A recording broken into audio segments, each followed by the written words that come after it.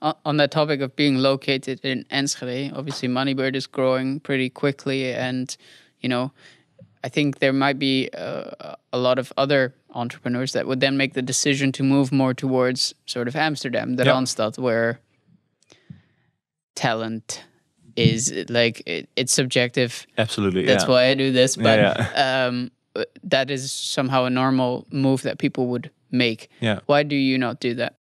Um, I think it's a little bit of a stupid move uh, because talent uh, is here also, and we are there are less startups in Enschede that are fighting for the talent uh, compared to Amsterdam. Um, it depends a little bit on also the kind of business. We we serve small enterprises, and they are everywhere in Holland. And we don't need to go to this, these people. We we don't uh, invite our customers to our office, so it doesn't matter where we are. Uh, even if we would uh, com be completely remote, uh, our customers wouldn't notice. Yeah. Um, so having this office doesn't really uh, doesn't really matter. And I hear a lot of people saying, "Okay, I need to have this presence in Amsterdam or in, in the Randstad somewhere." So they start an office which is uh, very expensive and a hustle to get to every time. And um, I, I, don't think it's it's be it's, it's really worth that mm -hmm. that that effort. Uh, maybe if you really have international customers that flying into Schiphol and want to be on the Herengracht in a, some kind of fancy mm -hmm. office, then it might help.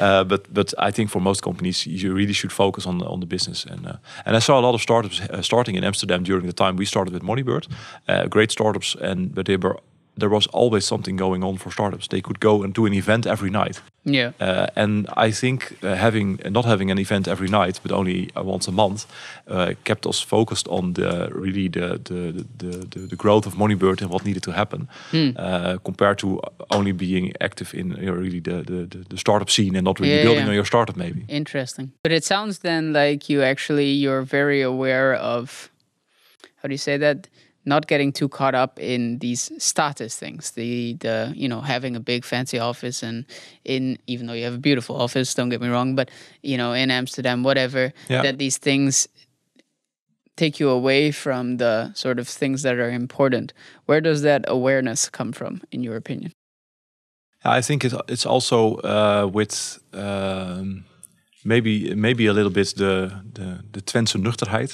Okay. Uh, so down down to earth. Yeah. Um, and also maybe it, it comes also back again to uh, to being more of a product designer and a software engineer. Mm. Things need to be practical.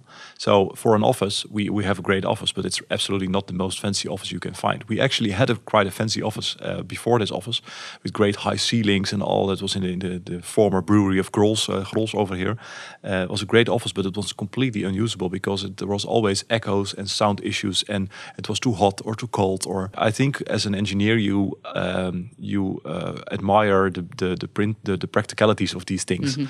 uh, and and uh, yeah, you need to empower your team to do the great things, and that's not not not always tied to to status or to to uh, yeah the most fancy fancy things, but just be things that work and that are yeah that are yeah, fun yeah. functional. Yeah. And uh, and that's also how we build Moneybird. It needs to be functional. It doesn't need to be. We never we never built the the, the landing page first and then we think about features.